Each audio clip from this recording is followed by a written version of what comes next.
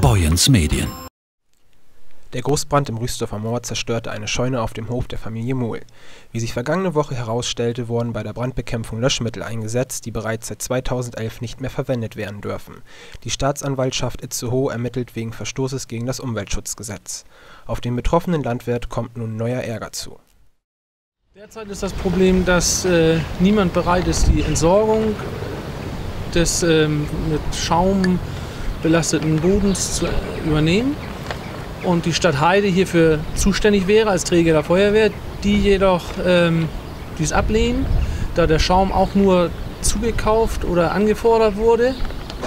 Der derzeitige Vorschlag des Bürgermeisters oder Vorschlag, aber er sagt, ich werde wohl nicht drum rumkommen, auf eigene Kosten zu entsorgen. Ich sollte mir schon mal einen ausreichenden Kredit bei der Bank anfordern.